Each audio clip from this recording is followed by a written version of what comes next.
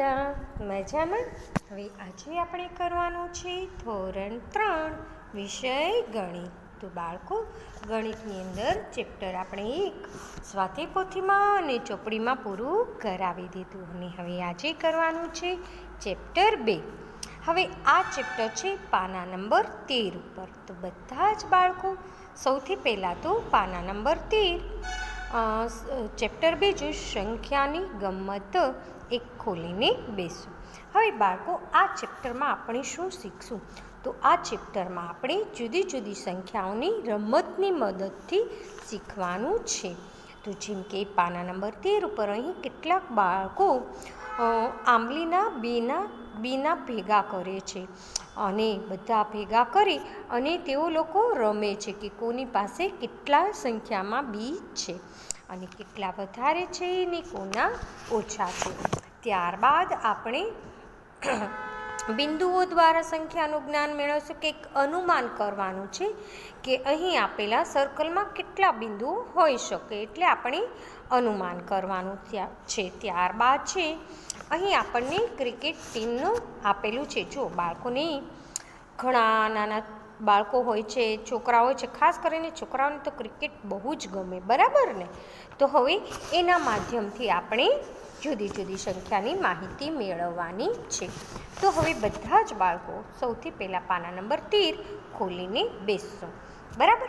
હવે સંખ્યા આ ચેપ્ટરના નામ પ્રમાણે સંખ્યાની ગમત એટલે સંખ્યાની રમત રમત દ્વારા આપણે આ ચેપ્ટરની માહિતી મેળવીએ છીએ.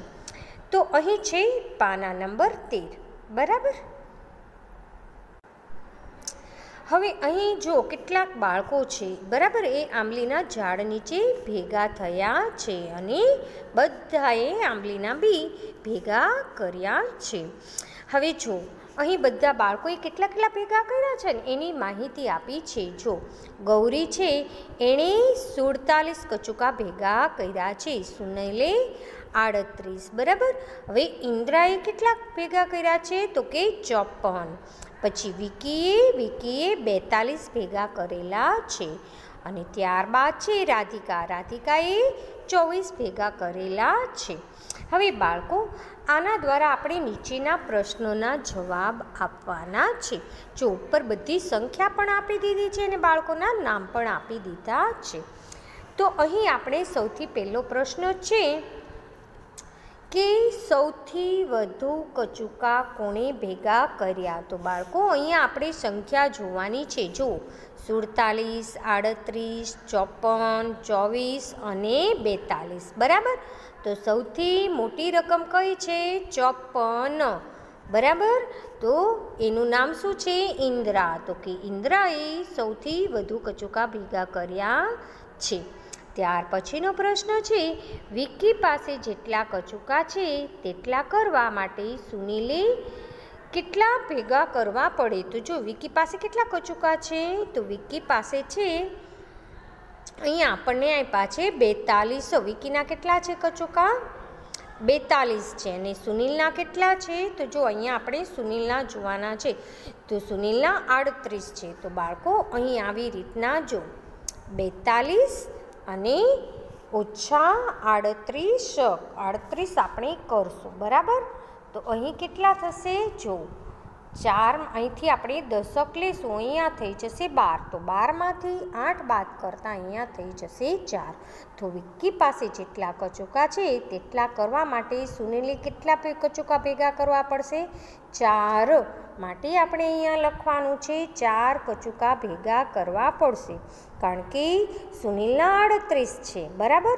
તો આડત્રીસ પછી ગણો. આડત્રીસ પછી ઓગણચાલીસ, ચાલીસ, એકતાલીસ ને બેતાલીસ, બરાબર? તો વિકીના કેટલા છે? બેતાલીસ. એટલે બેતાલીસ કચુકા કરવા માટે સુનિલે ચાર કચુકા ભેગા કરવા પડશે. હવે ત્યારબાદનો પ્રશ્ન છે, જો રાધુ, રાધિકા છ કચુકા વધારે મેળવે તો તેની પાસે કેટલા થશે? તો જો સૌથી પહેલાં તો રાધિકા પાસે કેટલા કચુકા છે એ આપણે જોવાના છે.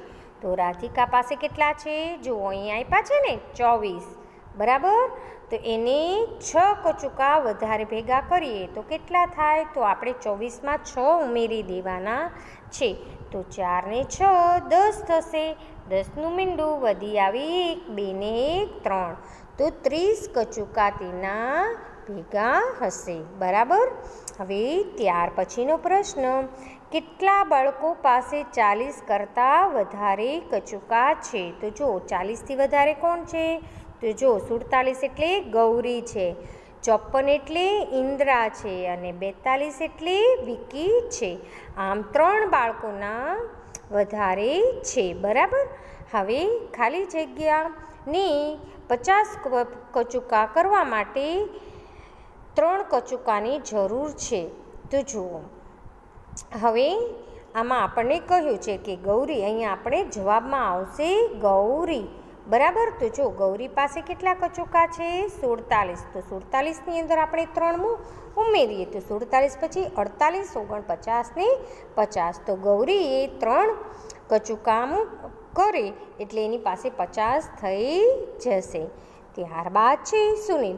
સુનિલ પાસે ચાલીસ કરતાં બે કચુકા ઓછા છે. બરાબર? તો જુઓ, અહીંયા ચુનિલ, સુનિલ પાસે કેટલા છે?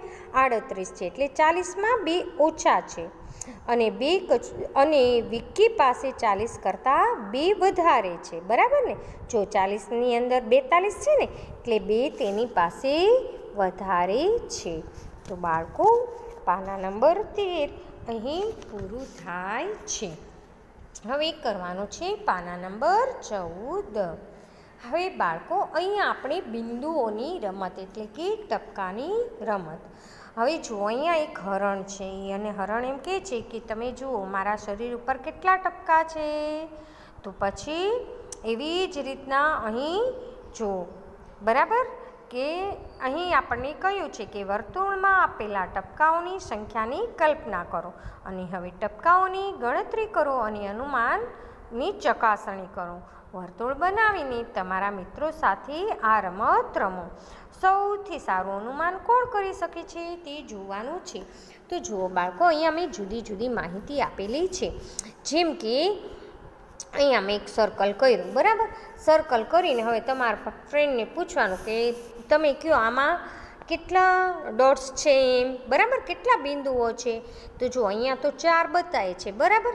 તો હવે એવી જ રીતના અહીંયા કયો, પછી તમારા ફ્રેન્ડને કહો કે હવે અહીંયા કેટલા છે બિંદુઓ? એ તો મને આશરે અનુમાન કરીને કે, તો જો આઠ, કોઈ આઠ કે, કોઈ છ કે, પછી તમારે ગણવાના. તો જો બાળકો અહીંયા છ છે બિંદુ, બરાબર? માટે જો છ એનું અનુમાન છ કે અને છ થાય બિંદુ તો સાચું પડશે. બરાબર? એવી રીતના અનુમાન કરવાનું છે. હવે માની લો કે અહીંયા મેં એક સર્કલ કરી નાખ્યું અને પૂછ્યું કે હવે તમે અનુમાન કરો કે અહીંયા કેટલા બિંદુ છે? તો જો આઠ કે અને કોઈ નવ કે, તો નવ કે તો અહીંયા સાચું છે. પણ જો આઠ કે તો આ ખોટું છે. માટે આવી રીતના અનુમાન કરી તમારે રમત રમવાની છે. તમારા ભાઈબંધ સાથે તમે આવી રીતના રમત રમી શકો છો.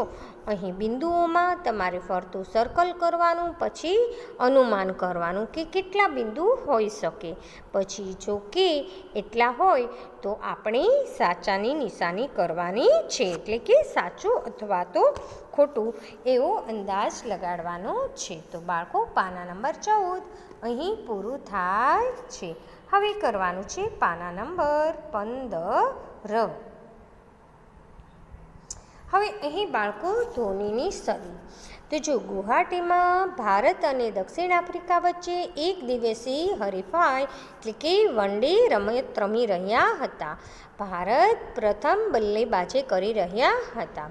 તો જો ધોની છન રન પર ફક્ત એક જ દડો બાકી છે, તો તેની સદી પૂરી થઈ શકશે કે નહીં? અને આ જુઓ ધોનીએ છક્કો માર્યો, બરાબર? તો એ જીતી ગયો. તેણે પોતાની સદી કઈ રીતના પૂરી કરી? તો કે સિક્સ રન મારીને. હવે ખાલી જગ્યા આપણને આપેલી છે. તો જો ધોનીના કેટલા રન છે બાળકો? છન્નું. તો છન્નુંની અંદર છ ઉમેરી એટલે એણે ટોટલ એકસો ને બે રન કર્યા. એક સદીને ઉપર બે રન. સો સો એટલે સદી. એક સદી થઈ. બરાબર? એટલે અહીં સો ઉપર બે એકસો ને બે રન કર્યા છે. હવે સદી પૂરી કરવા માટે નીચેના ખેલાડીઓને કેટલા રનની જરૂર પડશે? તો જુઓ, બાળકો, અહીંયા એક, બે, ત્રણ, ચાર ચાર ખેલાડી છે અને એને કેટલા રન કર્યા છે અને એને સો કરવા માટે કેટલા રનની જરૂર પડશે તે આપણે માહિતી મેળવશું. તો જો સૌથી પહેલો ખેલાડી છે, એણે કેટલા રન કરેલા છે? ત્રાણું, બરાબર? તો ત્રાણુંની અંદર કેટલા રન ઉમેરીએ તો સો થાય. તો ત્રાણુંની અંદર એક, બે, ત્રણ, ચાર, પાંચ, છ ને સાત સાત રન ઉમેરીએ એટલે કેટલા થશે? સો થઈ જશે, બરાબર? જો ત્રાણું પછી ચોરાણું, પંચાણું, છન્નું, સત્તાણું, અઠ્ઠાણું, નવ્વાણું ને સો. તો સો રન થઈ ગયા ને સાત રન ઉમેરવામાંથી. બરાબર? હવે એવી જ રીતના બીજો ખેલાડી છે, તો એના સત્તાણું રન છે, બરાબર? તો સત્તાણું પછી અઠ્ઠાણું, નવ્વાણું ને સો, તો એને ત્રણ રનની જરૂર પડી, બરાબર? તો સો રન થઈ જશે. એવી જ રીતના ખેલાડી છે ત્રણ.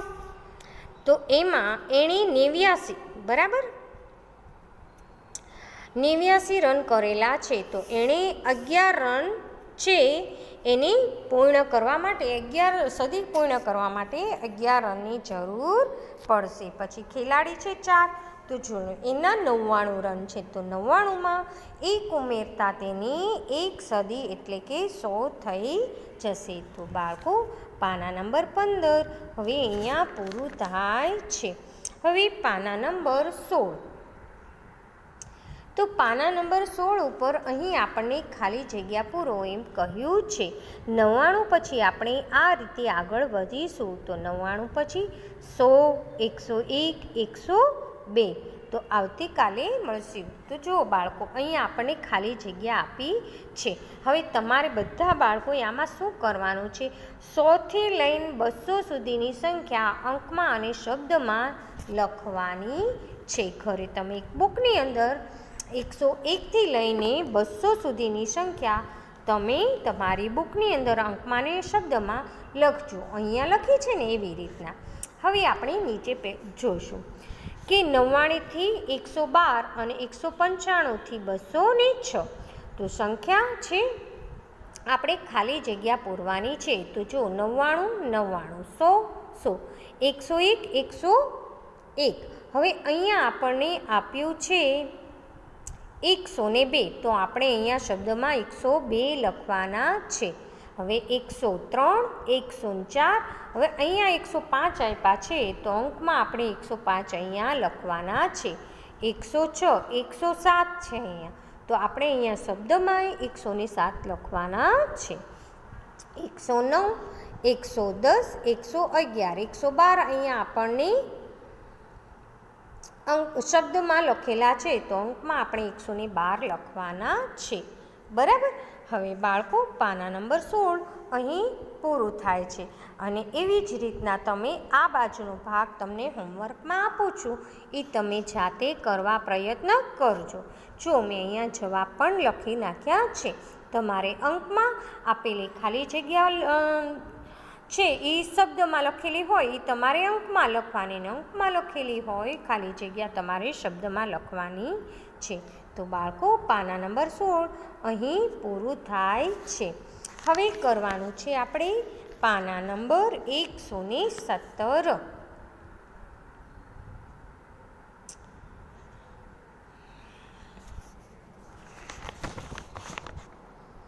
તો બાળકો, પાના નંબર એકસો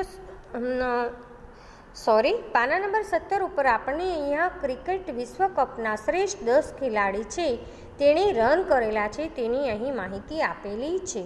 તો જો સચિ, સચિન, ગાવસ્કર, ધોની, કોહલી, ધવન, જાડેજા, દ્રવિડ અને કપિલ દેવ. હવે આ બધાએ કેટલા રન કર્યા છે? એ અહીંયા લખેલું છે. હવે તેના આધારે આપણે નીચેના પ્રશ્નોના જવાબ અને ખાલી જગ્યા લખવાની છે. તો ધોની સહેજમાં સદી કરવા માટે ચૂકી ગયો છે. તો એક સદી પૂરી કરવા માટે તેને કેટલા રનની જરૂર પડશે? તો જો બાળકો, અહીંયા ધોનીએ નવ્વાણું રન કર્યા છે. માટે એક સદી પૂરી કરવા માટે તેણે એક રનની જરૂર પડશે. હવે ત્યાર પછી અહીં પૂછ્યું છે, ખાલી જગ્યા અને ખાલી જગ્યાના રન લગભગ સરખા છે? તો એવા કયા કયા છે? તો જુઓ, બાળકો, સચિને એકસો અઠ્ઠાવીસ કર્યા અને કપિલ દેવે એકસો સત્યાવીસ. તો બંનેના રનમાં એક જ ડિફરન્સ છે, એટલે કે લગભગ બંનેએ સરખા કરેલા છે. હવે ગા, ખાલી જગ્યાએ સદી પૂર્ણ કરી અને વધારે પણ નહીં અને ઓછી પણ નહીં. તો જો ગાવસ્કર છે ને એણે એક્ઝિટ સો રન કર્યા. એનાથી ઓછા એ નથી કર્યા અને વધારે પણ નથી કર્યા. હવે કોઈ એક ખેલાડીએ કરેલા સૌથી વધારે રન તો બાળકો એકસો ને અઠ્યોતેર ધવન છે. એણે સૌથી વધારે રન કર્યા છે. ત્યાર પછીનો પ્રશ્ન છે, ગાવસ્કર અને ધોની વચ્ચે માત્ર એક જ રનનો તફાવત છે. બરાબર ને? ગાવસ્કર અને ધોની. તો જુઓ, ગાવસ્કરે કેટલા કર્યા છે? સો. અને ધોનીએ કેટલા કર્યા છે? નવ્વાણું. તો એક જ રનનો તફાવત છે. હવે રહાણાએ દોઢ એટલે કે એક અડધી સદી કરતાં બે રન વધારે કર્યા. તો અહીંયા આપણે રહાણેનું જોશું. તો જુઓ, અહીંયા બરાબર એક સદી અને બીજી અડધી એમ એટલે કે દોઢ સદી માટે તેને બે એકસો ને બાવન એટલે બે વધારે રન કર્યા છે. એક સદીમાં એટલે સો થશે અને બીજા પચાસ એટલે બીજી અડધી સદી થઈ એટલે દોઢ સદી થઈ ગઈ અને આમાં બે ઉપરથી આપણને આપ્યા છે એટલે બે રન વધારે કર્યા છે. તો બાળકો, પાના નંબર સત્તર ઉપર. હવે આજનું આ ચેપ્ટર આપણે પૂરું કરશું. જો તમને કોઈ પ્રશ્ન હોય, ન સમજાય, તો ચોક્કસથી મને જાણ કરજો. હું તમને ફરી રિવિઝન કરાવીશ. અને આજે મેં તમને જે કાંઈ બુકમાં કરાયું છે, એ તમે બુકમાં પૂરી નાખજો. તો સારું બાળકો એ હું તમારી પાસેથી રજા લઉં છું. આવજો.